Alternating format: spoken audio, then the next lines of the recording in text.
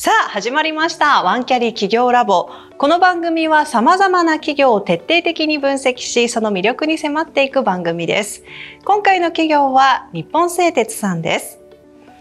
過去最高益更新中ということで、すごいですよね。ぜひ秘訣を今日は伺いたいと思います。では、改めて今回のゲストをご紹介しましょう。日本製鉄から佐々木さん、そして坂本さんです。よろしくお願いします。よろしくお願いします。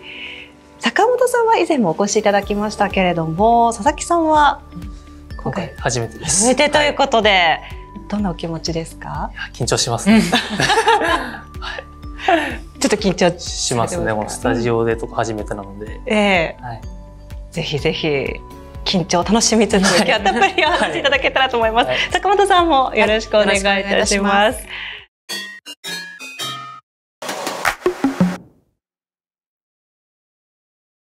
さあではここからはさらにいろいろと深掘って聞いてまいりましょう今回のトークテーマはこちらですはい、5つの質問ご用意いたしましたので、坂本さん、そして佐々木さんに伺っていきます。では早速1つ目の質問です。こちら。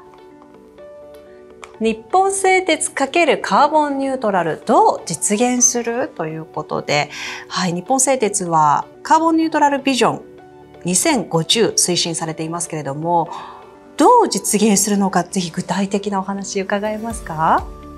はい、わかりました。えっ、と先ほどのスライドの中でもお話がちょっと書いてあったと思うんですけども、もう一つはですね、やはりあの CO2 を削減するようなお客様で使うときに削減するような材料をまず提供するっていうのが一つあるんですね。ですので、まあ、それが一つですね。た例えばどういうことかというと、あの今からは多分電気自動車がどんどん増えてくるんじゃないかっていうことがあって、そのための、えー材料そのためにモーターにですね、あの、えー弊社のあの電池鋼板っていう材料よく使われるんですけども、その材料をお客様にお弟子することによってお客様が使うときに、まあ、そういう CO2 削減に寄与するというかそういうところの、まあ、材料でお客様に対して CO2 をあの削減するような材料を提供するっていうことが一つあるのかなってありますし、でもう一つは、えー先ほどのスライドの中でもありましたようにもともと作る時の鉄から CO2 を削減したような鉄鉄を作れないかっていうことを今やってる最中でございます。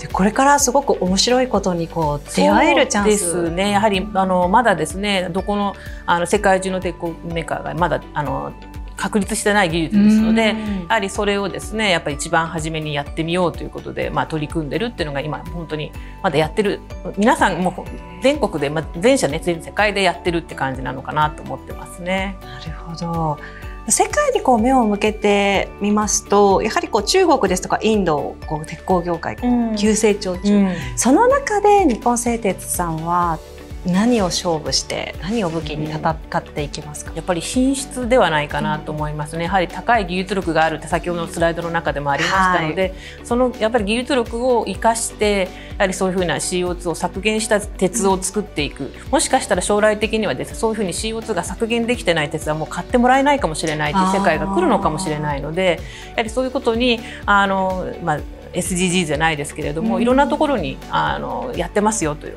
私たちはそういうところに力を入れてますということをやっぱりあの前面に出していきたいなと思ってますね。あと海外の企業と M&A 活発で本当にかくどんどん拡大されているんですね。そうですね。やはりあのまあ日本までどんどん人口が減っていくっていうことにな、うんあの言われてますので、そうするとやはり鉄の需要がどんどん減るっていうことがありますけれども、先ほどのあの将来性でね右肩上がりの、あの鉄の需要量ありましたので、やはり世界で見てみると、やはり今からまだ鉄を使っていただけるところはどんどんあると思いますので、うんまあそういうところにどうやって出していくかっていうのはやっぱり一つあるのかなと思ってますね。なるほど。そして前提として環境問題にしっかり取り組んでいくっていうのがポイントになあ、ってくるですね。はいわ。けですね。はい。そうだと。思います。ありがとうござはいい、ありがます。とうございます。では続いて2つ目の質問に参りましょう、こちらです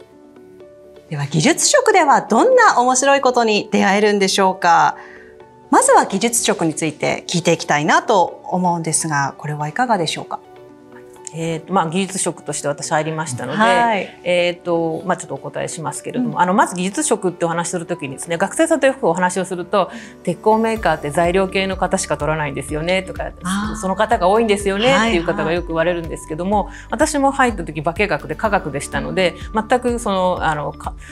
ももともとから言うとですね鉄鋼というのは選ぶ選択肢がなかったんですけれども入ってみるとですね実はいろんなところで科学の力を使うっていうのはねあ知識を使うってことがありましたので、まあ、そういう点ではですね